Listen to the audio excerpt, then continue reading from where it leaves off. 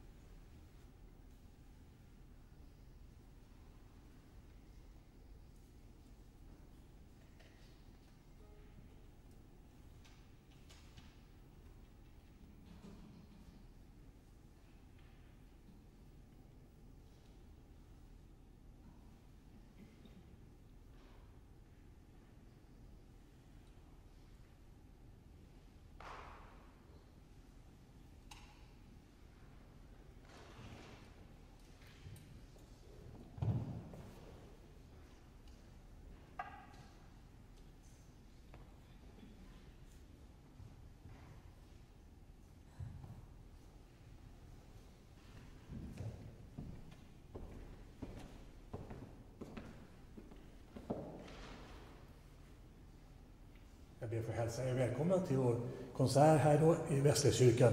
Johann Sebastian Bach kantater. Jag vill också hälsa alla välkomna, de som är, kommit på vår streamingtjänst. Eh, är då Ich habe in Gottes Herz und Sinn samt Bleib bei uns, denn es will Abend werden. Och de här två verken kommer ju framföras av soprano Lisa Karliot, alt Anna Sander, tenor Carl Onander Skarin och bas Johan Wollberg. Samt givetvis Stockholms eh, Bachsällskap. Det kommer också bli en andakt då mellan de två kantaterna av vår kyrkoherde Peter Träsk. Eh, kollekten idag den går till, till Svenska kyrkans mission, eh, utrikesmission. Eh, mission. Det går bra att swisha. Eh, eh, nu lyssnar vi till klockorna. Återigen, varmt välkomna.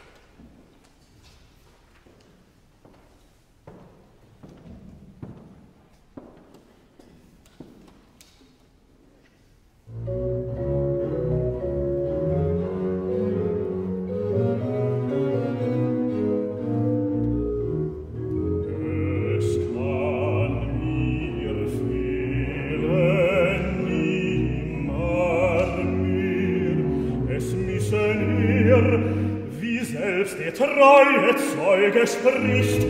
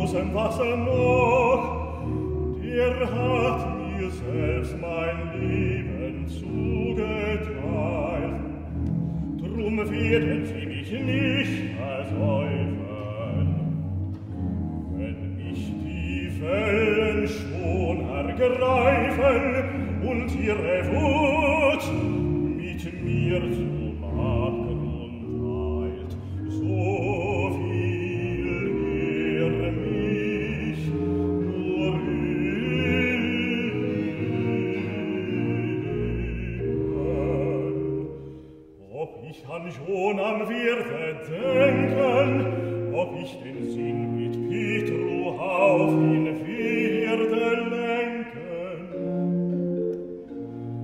Er will mich stark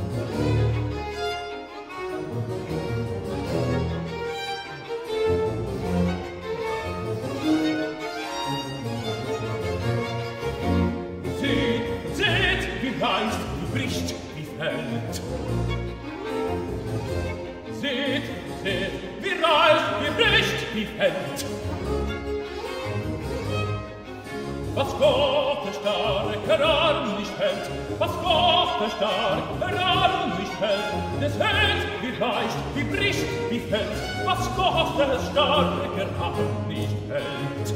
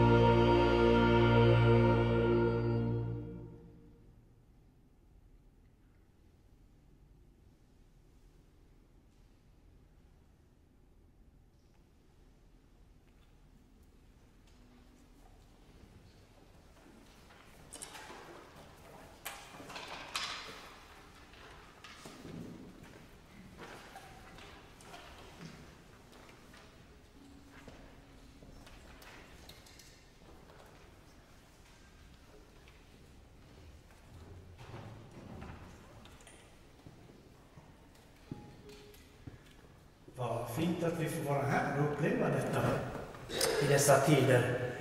Eh, jag har fått några fina anteckningar av, av eh, Fredrik här som beskriver den musik vi lyssnar till med en instruktion. Gör en liten aftonandakt av det här. Det var jättespännande. Det är inte för inte som eh, Bach kallas för den femte evangelisten. Hans musik är så sammanvävd med de bibliska berättelserna. Jag fann ett så vackert uttryck här. Som alltid hos Bach är musiken ett tonmåleri av texten. Och eh, det tonmåleri vi har fått lyssna till här, eh, när jag plockar ihop detaljerna här så, som jag tolkar det, så det vi har hört, det är alltså livet som vägen genom det förgängliga för att nå det eviga. På lite olika sätt. Dels i den här ofrånkomliga betydelsen. Livet är det förgängliga, bergen och allt liv, det är förgängligt. Och så är det inte mer med det. Men också livet som vägen genom det förgängliga för att nå det eviga i betydelsen forma livet så att eh, det blir en väg mot det som är evigt, det som är bestående, det som har ett värde som inte bara är kortvarigt och förgängligt. En strävan mot det eviga, mot det större. Men så också det helt nödvändiga, nämligen att ingen strävan som vi företar oss kommer någonsin att ge oss vingar för att flyga in i det eviga. Vägen går alltid genom korset. Genom eh, tilliten till Guds handling där Jesus Kristus vandrar tillsammans med oss genom det svåra till slut där det förgängliga upphör och tar oss med in i det eviga.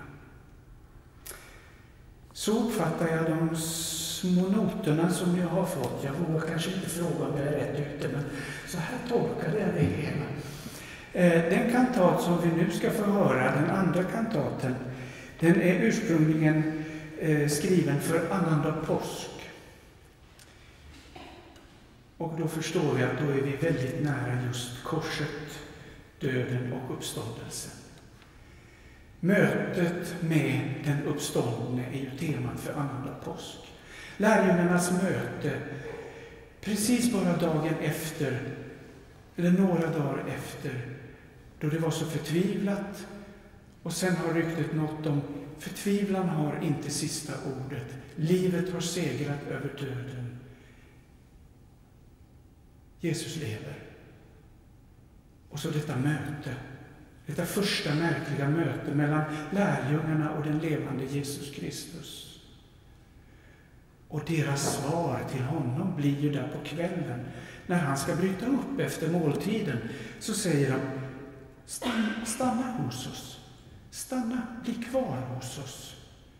Det är kväll. Det är kväll, mörkret faller. Bli kvar hos oss. Och jag tänker, ja det var säkert en sån situation, mörkret föll. Ge det inte iväg nu, det är mörkt. Men jag tänker det får en större betydelse också i livet. Där det ibland skymmer, där det ibland är kväll. Bli kvar hos oss, för vi anar att mörkret finns där. Stanna hos oss, Gud, vid vår sida.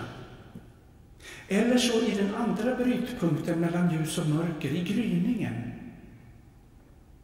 Vi vet att mörkret, tillsammans med dig, oavsett hur livet ser ut, så finns det en punkt där mörkret byts i ljus.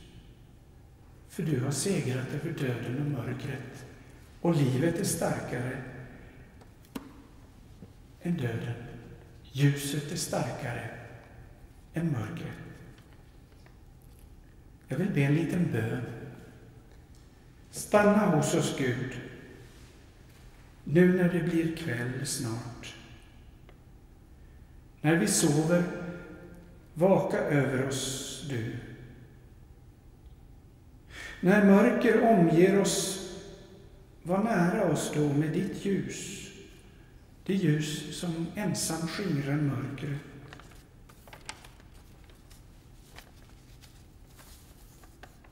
Var du vårt hopp i afton, i gryning, när evighetens påsk gryr över oss alla.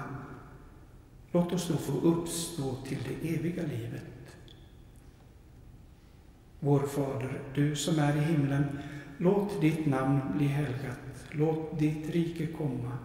Låt din vilja ske på jorden så som i himlen. Ge oss idag det bröd vi behöver och förlåt oss våra skulder, liksom vi har förlåtit dem som står i skuld till oss. Och utsätt oss inte för prövning, utan rädda oss från det onda.